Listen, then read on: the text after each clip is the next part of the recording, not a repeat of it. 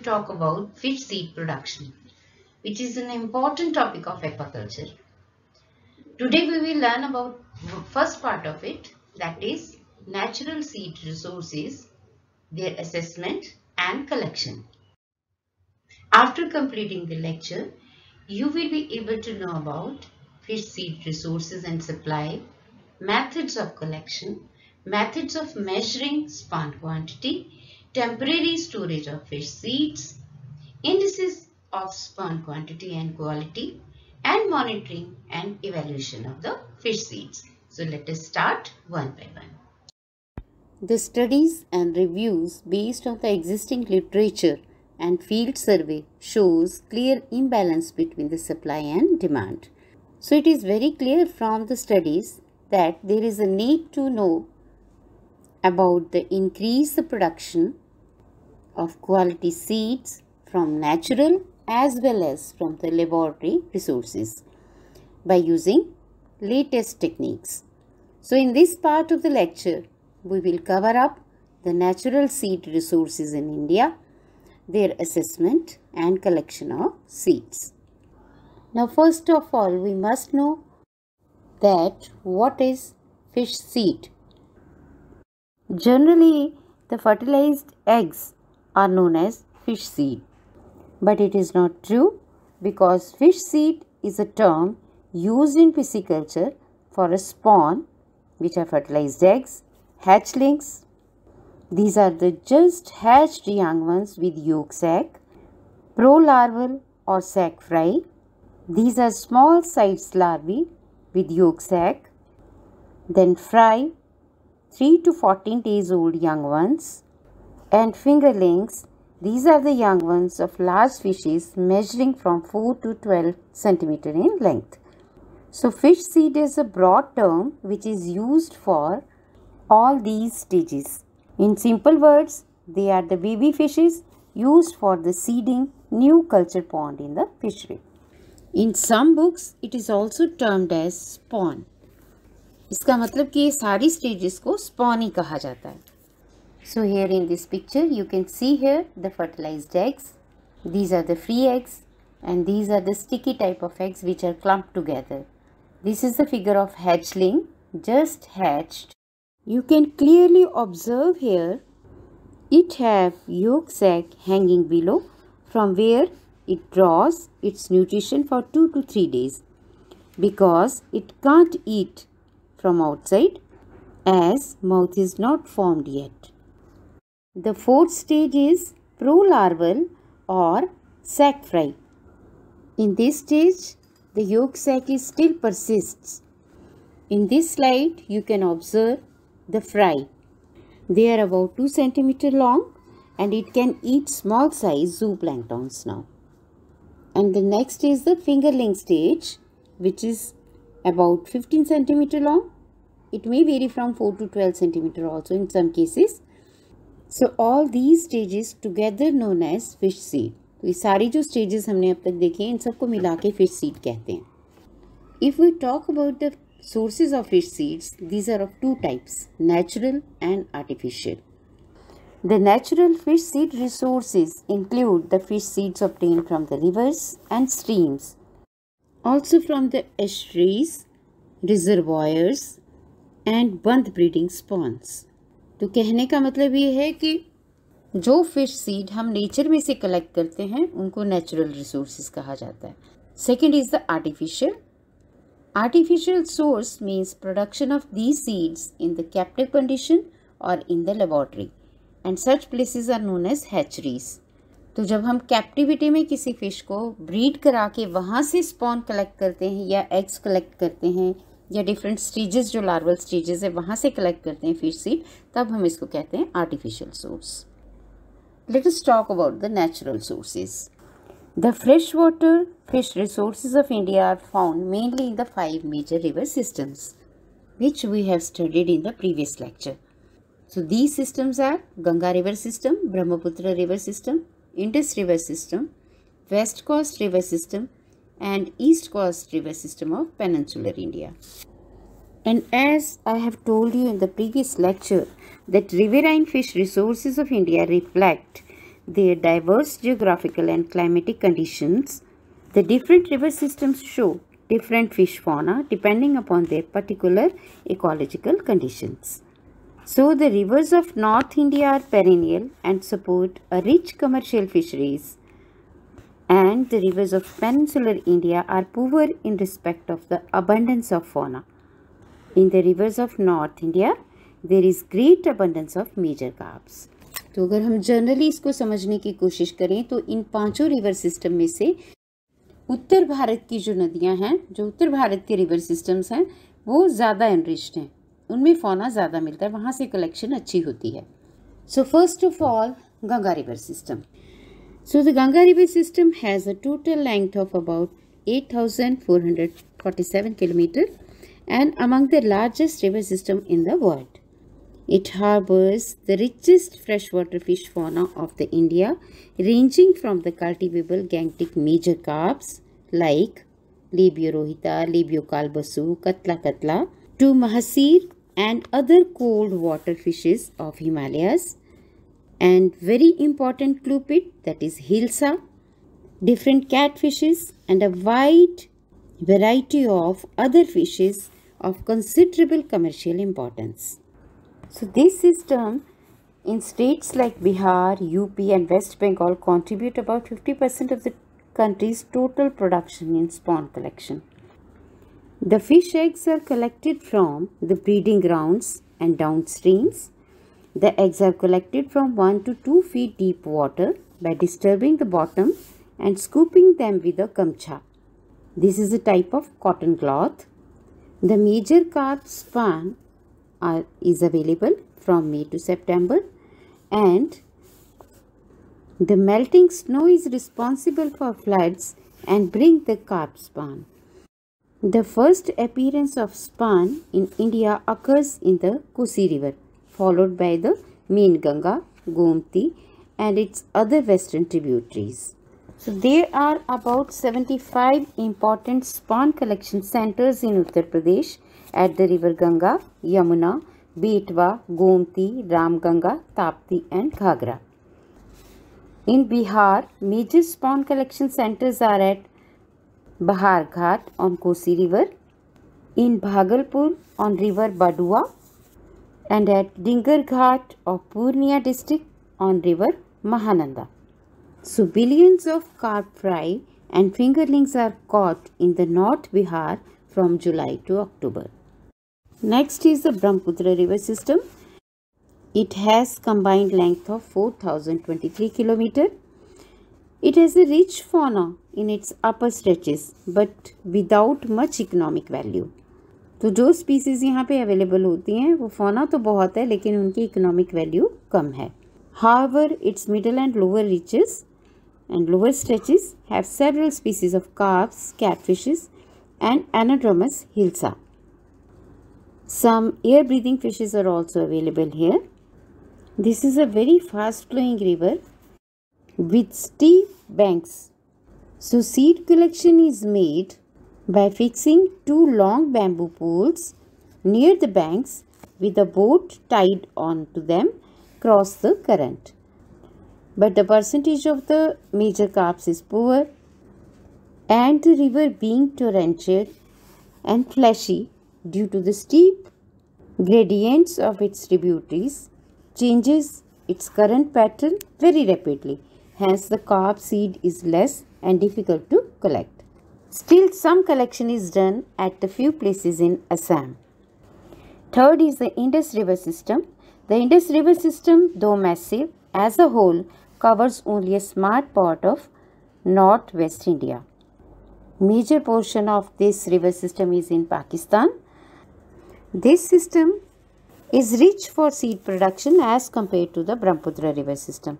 It harboring the exotic rainbow and brown trouts in the upper reaches and variety of indigenous carps and catfishes in the lower section.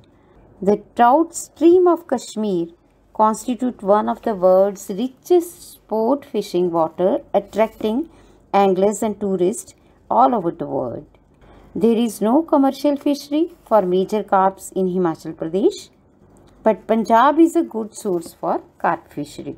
So it has many centers at Pong Dam, Govind Sagar Reservoir, at Ladowal and Gidar Pinds at Satluj. One more center is there at Sultanpur Lodi on western Bein which is a tributary of Satluj and a very important collection center is Harike on river Beas. Next is the East Coast River System. The East Coast River System in peninsular India is rather a composite system of rivers, the main constituents of which are Mahanadi and Godavari, the Krishna and the Kaveri, with a combined length of about 6437 km. So it is interesting to know that Mahanadi has all the Indian major carps common with the Ganga system. The other rivers beside their own indigenous fish fauna of several carp species, catfishes, murrels, prawns, have had their water enriched by repeated transplantation of the Gangetic carps from north. And these transplants have established themselves and contributed significantly to the current fish fauna of these rivers. The tributaries of Kaveri from the Nilgiris have cold water fishes like trout and tench. Large number of spawn collection centers are identified between Sambalpur and Cuttack. These centers are established on the river Mahanadi. The spawn collection center is located at Nanded on river Godavari. Here the spawn mainly consists of Catla catla and Labeo fimbriatus. No major spawn collection center is located on Krishna river. But the delta region of these rivers are very abundant in fishes, although the percentage of major carp spawn is only 20.3%. The upper region of the Kaveri being fast flowing and sufficient cool, so it is unsuitable for carp fishery. But the middle and lower reaches harbor a fairly good fishery of the major carps. So on the river Kaveri, spawn collection centers are located at Hogenakkal and Kulithalai and the spans of fishes Cirrhinus reba, Labeo kontius and Labeo calbasu are collected from these places. And the last is the West Coast River System. The West Coast River System in the south drains the narrow belt of the peninsular India west of Western Ghats and includes the basins of Narmada and Tapti. Both these rivers are rich in fauna. The river Narmada contributes the spawn collection of Indian major carps and mahasirs. There are about 8 spawn collection centers in Madhya Pradesh and main spawn is of the fish Labeo fimbriatus. The Tapti river has no major centers for seed collection. The other rivers that originate in the western Ghats possess carps, catfishes, mahasir, murrels, perches and prawns. But the upper stretches of these rivers being rocky and unproductive and it is not suitable for the seed collection but the remaining part is good for seed collection. Then the estuarine systems. What is an estuary? ये मैंने पहले भी बताया आपको जहाँ नदी समुद्र से मिलती है तो वहाँ पर जो पानी की वाटर बॉडी बनती है that is less saline than sea water but more saline than the fresh water of the river और ये सेलिनिटी वेरिएबल है चेंज होती रहती है। जैसे हाई टाइट के टाइम पे ज़्यादा हो जाएगी लो टाइट के टाइम पे ये कम हो जाएगी क्योंकि जो नदी से पानी आएगा वो ज़्यादा हो जाएगा। तो these estuaries are also the major resources of the natural collection So these are the Hooghly Malta estuary of river of Ganga, Mahanadi in Odisha and Godavari Krishna in Andhra Pradesh. And the Kaveri in the Tamil Nadu. The Narmada and Tapti in Gujarat. These are the important resource for the fish seed. Some brackish water lakes are also very important. These are Chilka in Odisha, Pulicat in Tamil Nadu and Vembanad in Kerala. So all estuaries are good source of fresh water and brackish water, fishes and prawn. Information on the India's reservoir fish seed resources is scanty. The reservoirs in Uttar Pradesh and Madhya Pradesh, by virtue of their being connected with the Ganga river system, have natural stocks of major carps, but in view of the large volume of the water impounded by them, the original stock are being supplemented through the regular stocking with the major carp fingerlings. The reservoirs across other basins, however, do not have natural stocks of the major carps. Hence, the major carps fingerling produced elsewhere are brought and released in these reservoirs. Naturally formed lakes and man made reservoirs constitute great potential fishery resources of India. Lakes and reservoirs are estimated to have an area of about 2.05 million hectare in our country. So some of the important lakes in India are Ooty, Kodaikanal, Nainital, Loktak Lake and some of the important reservoirs are Nagarjun Sagar, Nizam Sagar, Gandhi Sagar, Shivaji Sagar, Tungbhadra, Krishna Raja, Hirakund, Byas, Gobind Sagar in north, Rana Pratap Sagar, Mata Tila and Rihand. Now in this portion of the lecture we will study the method of collection of seed from different natural resources. Now we will learn about the methods of collecting seeds. Since a long time, traditional methods of collection of carp spawn and fry from these natural resources were present in various states of India. Different regions adopt different methods to collect the fish seeds from natural resources. But now, standard methods have been described keeping in view the scientific basis and scientific investigations initiated in various river systems in India. So let me tell you about the riverine spawn resource investigating technique.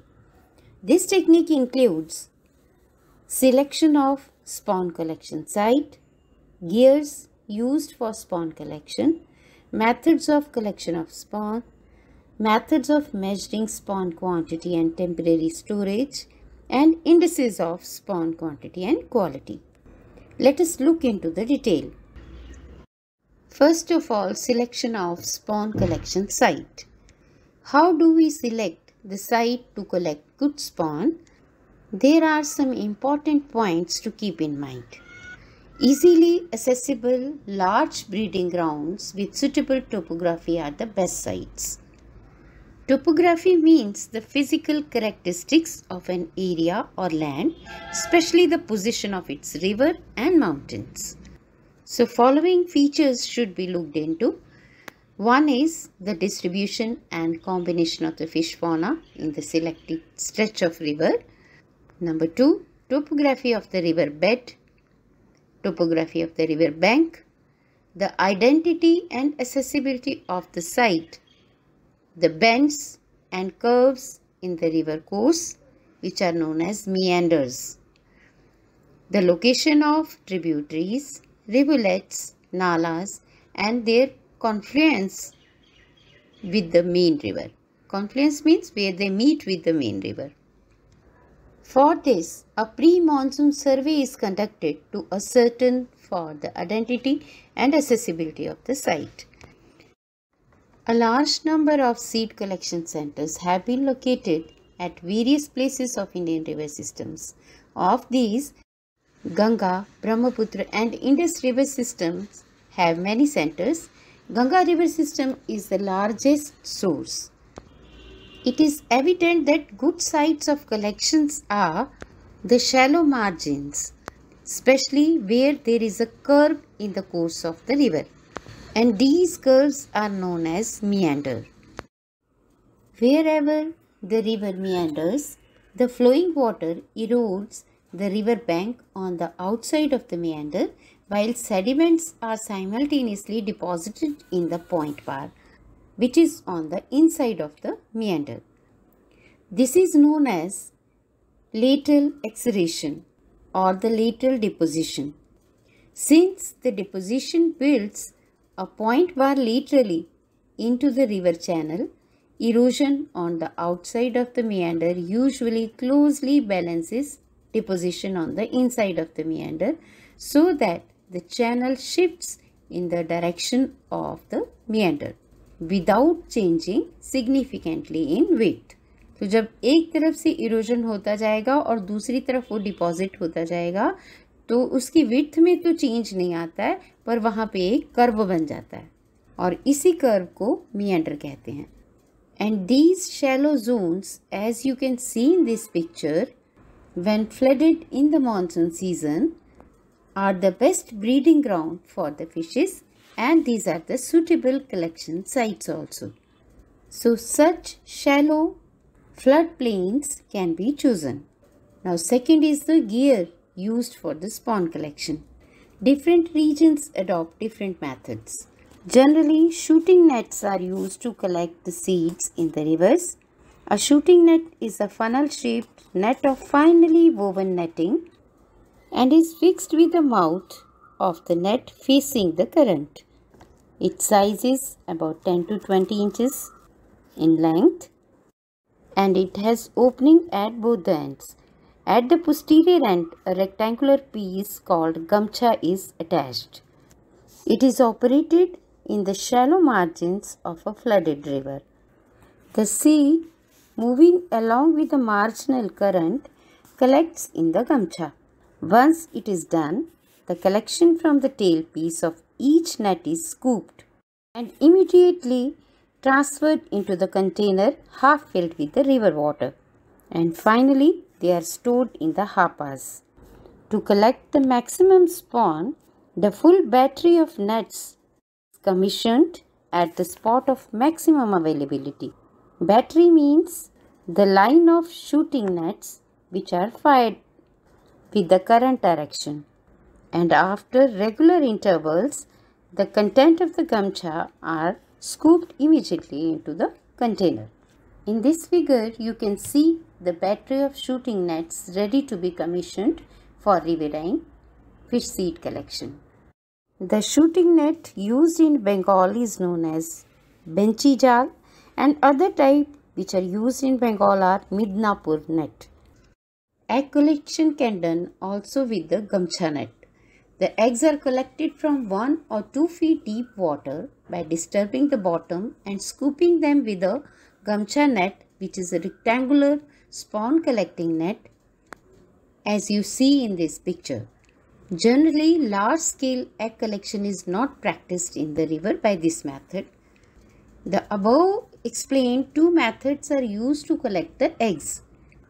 But for the collection of larvae up to 8 millimeter on a commercial scale is done by using dragnet or the cast nets. Such collection prevalent mainly in Bihar, West Bengal and Uttar Pradesh. These larvae may be fry or the fingerlings. Fry means 8 to 40 millimeter in length and fingerling means 40 to 150 millimeter in length. So, fry and fingerlings are collected usually by using cast net and drag nets. So, fry and fingerling collection, a source of fish seed is prevalent in the Indus River system in Punjab state. So, in this picture, you can see the haul of fish fingerling from a riverine stretch and in second picture you can see the fish seed collected along the bank of the river with the help of small dragnet. Now let me tell you about the factors affecting the collection.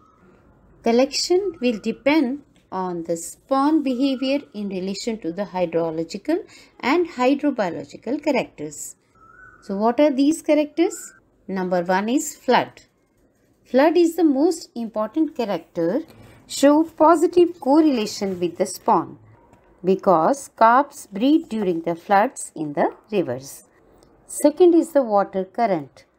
The slow and gentle current velocity varying from 0.5 to 3 km per hour is the best to collect the spawn. With the increased water velocity, all the spawn is carried away down the stream. So, faster currents of the midstream carry little spawn. And on other hand, low velocities of less than 1 km per hour are unfavorable for the spawn catch. Third important factor is the current direction. So a constant direction of the current is ideal for spawn collection. Next is the temperature. Although air and water temperatures never show any effect on the spawn availability, the optimal temperature is 28 to 31 degrees centigrade. Overcast conditions with breeze and with or without drizzle is not found ideal for the spawn collection. Next factor is the light. Light also does not show any effect on the spawn collection, but night collections are generally higher than the day collections. As far as weather is concerned, overcast sky with or without drizzle coupled with the gentle breeze is generally ideal and windy weather storm is unfavorable because it causes disordered currents and waves and uprooting of the shooting nets. Some other factors like turbidity, pH and dissolved oxygen have no effect on spawn availability in the rivers. Now we will study the indices of spawn quantity and quality. To show the efficiency of spawn collection, quantity and quality of the spawn should be measured. The index of quantity of spawn is amount of spawn captured per hour. So the desirable spawn taken by one standard net during a season is defined as the index of spawn quantity or the yield of the center. Second is the spawn quality index. So this quality is measured by two factors. One is the percentage of desirable spawn catch and percentage of major carp in the spawn catch. Therefore, spawn quality will be considered good if more percentage of major carps are available in the spawn. Third indices is of spawn categories. So collected spawn is divided into three categories. One is major carp, other is minor carp and third is others. The collected spawn must be separated. It is very important to separate the carp fry from the other fry. The carp fry can be distinguished from that of catfishes and murrels by the number of dorsal fin rays. So major carps number of undivided dorsal fin rays is less than 11. In case of minor carps, number of undivided dorsal fin rays is 11 to more than 11. And as far as catfishes and murrels are concerned, their fry are pigmented either blackish or brownish or the orange. So fries can be separated on the basis of these factors. Now once the spawn is collected, it has to be stored in a proper way. For this, spawn is not counted but they are measured. So after collection, spawn is measured in 200 ml, 100 ml, 50 ml or 30 ml measuring containers depending upon their amount. These collected spawn kept in hapas fixed in pond or the river. They can also be stored or kept in the pits of 1.8 into 0.9 into 0.6 meter in size. So in this way, fish spawn can be collected from the natural resources and stored. Now let me tell you about the advantages of fish seed collection from natural resources. This is the traditional and only source of carp seed prior to advent of bunds and hatcheries. Collection from natural resources is cheap and convenient. As laboratory or hatchery production is still deprived, presently it forms a supplementary source of seed. And basically, it is the only source for selective breeding programs. There are certain disadvantages of the spawn collected from the natural resources which are such a collection is a mixture of desirable and undesirable fish species and to separate them is a very difficult and time consuming process. Moreover, if a farmer wants to culture only one species that is known as monoculture or wants to go for polyculture cannot rely on these seeds. This is an unreliable source as breeding, natural breeding is dependent on several environmental factors so it is not a reliable source that every year you will get the good spawn. It is also mixed with the eggs of predatory fish and predatory fish are carnivores. So such larvae will eat up the carps larvae. Predatory fish के जो larvae होते हैं वो जल्दी बड़े हो जाते हैं so they they will eat up all the carps larvae. Mortality of the seed during the collection and transportation. As collecting sites are far away from the cultivable sites, so many fries or fingerlings or the spawn die during the transportation.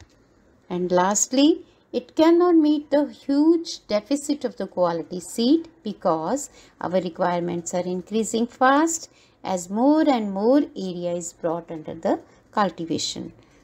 तो जैसे जैसे और water bodies में मछली पालन ज़्यादा हो रहा है उसी हिसाब से हमें क्वालिटी सीड्स की ज़रूरत भी ज़्यादा है जो कि नेचुरल रिसोर्सेज से पूरी नहीं हो सकती In the next part of the lecture, we will study about different methods of artificial fish seed production or the hatchery production, including artificial fertilization and induced breeding. Thanks for being with me. Goodbye.